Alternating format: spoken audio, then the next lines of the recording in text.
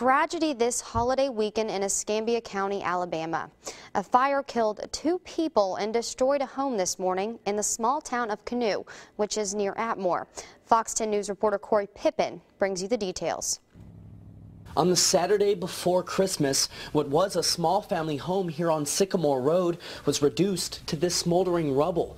Officials say it all began just after 5 a.m. when the homeowner, 58-year-old Perry Buckholt, was loading or lighting a wood-burning heater. They believe he then somehow caught on fire, which spread throughout the home.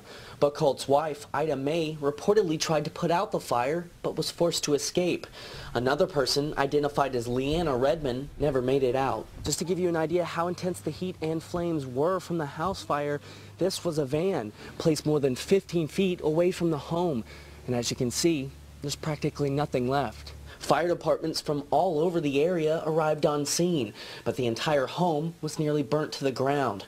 The tragedy has left family and friends with more questions than answers, and now spending the holidays without their loved ones. Reporting from Escambia County, Alabama, Corey Pippin, Fox 10 News.